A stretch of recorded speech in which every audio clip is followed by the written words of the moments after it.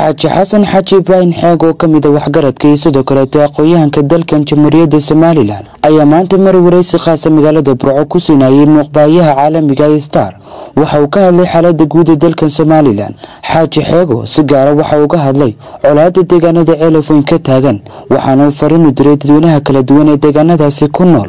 waxaana uu yidhi way dhacday dhowr goor waxyaabo inay laga heshiiyey oo haddana soo noqday meel uunbay dadku u riixaan oo yidhaahdaan halkaasaa ka dambaysa halkaasna waxay isugu soo biyashubataun xukuumadda. Laakiin dadka madax dhaqameedka ah ee dhibta lafteeda wax ka qaata iyagoo markaa ula kacayn ama aan garanaynba. Oo miidiyaha marinaya wax dadkana kicinaya dhibna keenaya kuwa horta waxaan leeyahay ka daaye oo hadallada idinka soo baxaya. Ha noqdaan kuwo masaalaxa ummadda iyo walaaltinimada iyo colaada ka jirta lagu daminayo xukuumadduna hadday jirto cid hoosoo si hoosoo madow u soconaysa ha ka daba tagto ha ogaato inay wixii had iyo gooraale dee furaya nabadgelyadaas ee ka dhigaya colaad u bedelaya waxaan kaloo diraya dadka walaalaha ee halkaa wada degan ee maalin kasta isku dhimanaya ee colaadu ka dhaxaysa iyagu dee heshiis ha gaadhaan rasmi oo maalinbayay odhanin waa laysku kaaya diraya kuwa isku kindiraya midii ka caqli badan yihiin dee maskaxda kaga shaqaysiiya oo idinku daystaaya haddaa ogtiinba in laysku kiindirayo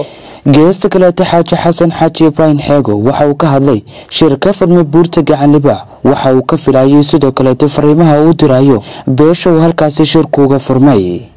Doorashadii ina soo martay waxay dhaxal siisay dhib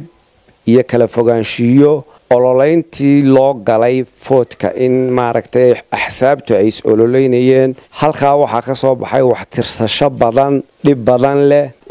Dadka laftoodii shacabka ahaa ee reer somalilanna ay aada u kala fogaadeen. Shirkan maanta gacanlibaax ka socda ee maalintii labaad labaystay wuxuu yahay guud ahaan macnihiisu marka hore in beesha horta shiraysa ee iminka u fadhiday gacanlibaax danahooda ka hadlaan danaha wadankana kaga hadlaan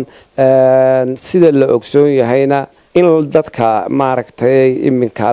laga bogsiiyo dhibtii ay keentay ama ay ka tagtay xanaftii doorashooyinkoo cidi wax tirsanaysay ay iminkana isugu yimaadeen dhammaan madax dhaqameedadii beesha shiraysa iyo siyaasiyiintoodii. Insha allah waxaanu ka filaynaa inay iyaguna ku talin doonaan wanaagga iyo dib u heshiisiinta dadka walaalaha ee reer somalilan iyo horumarka dalka iyo haddii alla idmaayo xukuumadda dee wixii lagu dhaliilsan yahay oo lala toosiyo. Aqoon-yahan xeego sidoo kaleeto waxa uu fariin u diray xukuumadda jamhuuriyadda somalilan ku aadan shirkaasi ka furma buurta gacanlibaax waxaanu jecelahay xukuumadda lafteedu inaanay waxba inay ka ciyaarin giim qaldan maadaama oo aanay jirin shirku taargetkiisu aanu ahayn in la taargetgareeyo xumaan lagu taargetgareeyo amniga xukuumadda iyo madaxweynaha iminka jira ee hogaaminayaba jamhuuriyadda somalilan. Gebagabadii xaaji xasan xaaji ibraahim xeego waxa uu diray fariin shacbweynaha kala duwan ee jamhuuriyadda somalilan oo ugu baaqa in la ilaaliyo nabadda wadajirka iyo sidoo kaleeto hiigsiga qaranka jamhuuriyadda somalilan waxaana wili shacabka somalilan waxaan u soo jeedinayaa meel kastay joogaan debad iyo gudaba. Waxaynu leenahay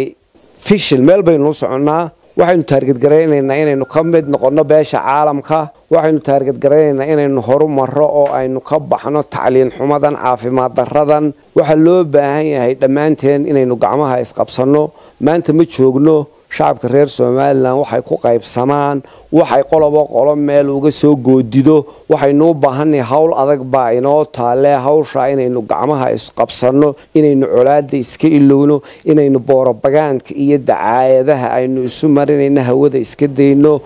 Waa khaalid bakeyle fogaan aragga xorta star t v burco